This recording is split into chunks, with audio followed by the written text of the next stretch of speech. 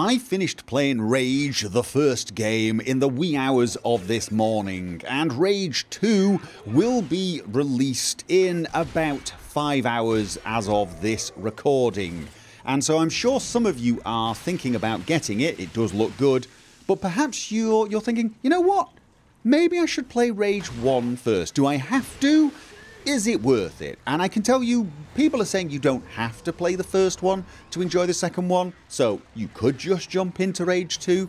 But having played the first one, I actually kind of enjoyed it and would definitely recommend it. It's pretty cheap, it's about $10 right now. It won't take long to play. I mean, probably one of the major criticisms of the game is it is a little too short. It's probably about half the length that it should be. I get the feeling that had it been twice as long, it would have felt like a more complete game. But as I said, it's only $10 and perhaps the, the fact that you can speed through it quickly will actually work in your favour if you're looking forward to getting to Rage 2 and you just want a little bit more of the uh, background before you go in. Because essentially that was the biggest reason I decided to play it. Now it is fun as I said. Um, if, if you're an FPS gamer, this game will feel very familiar to you.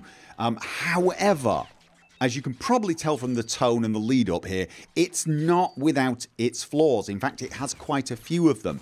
And the biggest problem I had with this game is it didn't seem to know what it wanted to be. You know, if you look at the id Software typical game like Doom, it's a no nonsense, in your face, run around like a maniac with various weapons, killing demons galore. There is a story, but it's pretty incidental. There's no trading or crafting. There's no, you don't pick up quests from people or talk to them or anything like that. You just run around and it's non stop mayhem. And then you've got some FPS games that are very narrative driven, like uh, Metro, or you've got ones that are somewhere in between, like Borderlands. And Rage felt like it was kind of going for something like Borderlands, but it, it couldn't quite manage it. It didn't have the same level of humour. But this also meant that it felt like the combat was a little stilted it just wasn't as fluid. There was not the same verticality or um, sort of instinctive movement that you get in Doom. So, for example, I'd see things that looked like I should be able to jump over them or vault them, and you couldn't. I tried, I'd hide behind a wall to take cover, but there's no cover mechanic. And all of the things that you sort of semi expect from different types of games. If you're playing a tactical FPS game, you expect a cover mechanic. If you're playing something that's a bit more Doom based, you expect to be able to jump onto a table and then jump off a table and while still shooting your shotgun into someone's head. This game kind of, you know, I'd, I'd bounce around, jump sideways thinking I'm going to jump onto the table and I just get stopped. But it wasn't even just tables. I could get stopped by the smallest bit of rubble.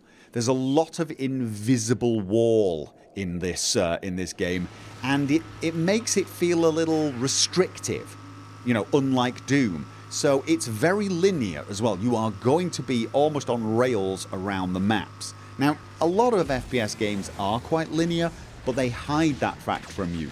This game does not. It's so brutally in your face. There's, you know, or uh, you're going through corridors where there's one way in, one way out.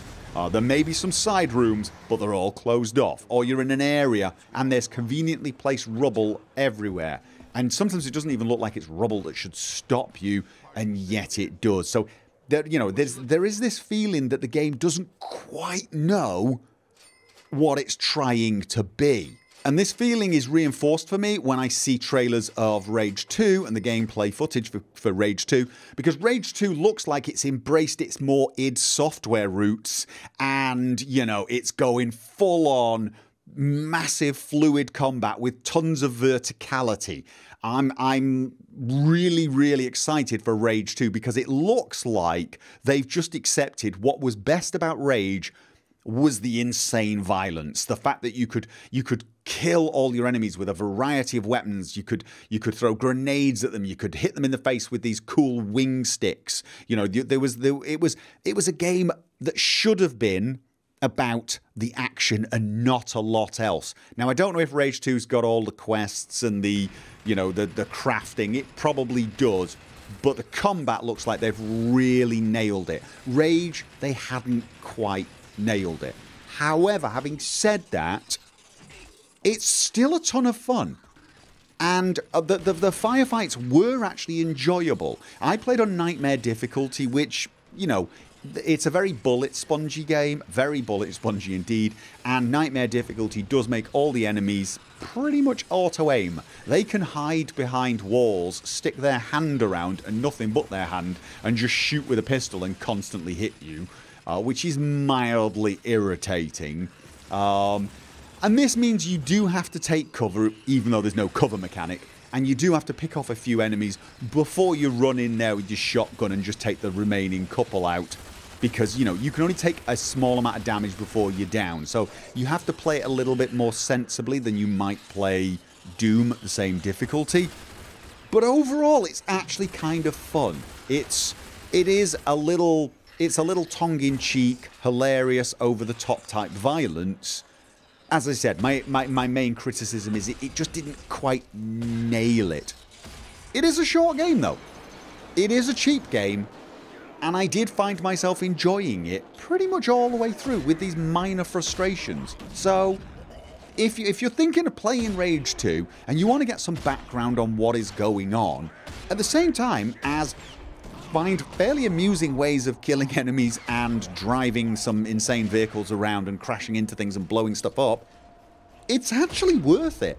I, I actually say, yeah, for I think it's $10, it's worth $10 and it's worth playing just just to get the backstory, but also because it is still fun. Flaws and all, it's still fun. And that's what games are about, right? Having some fun. So there you go. Like I said, not a thorough review. Probably missed a lot of different things. Um, I just wanted to quickly let you know that I'd finished the game and actually really did enjoy it in spite of its flaws and now I'm just eagerly awaiting Rage 2. I've had my eye on that game for such a long time. I say such a long time. Since last year. Um, make it sound like it's been like years in the waiting. I've, I am. I'm really excited for that game. And um, so that's it. So there you go. Rage 1, definitely worth a play. Rage 2, I'll tell you how I feel once it's out and I play it. From what I can see, I have high hopes.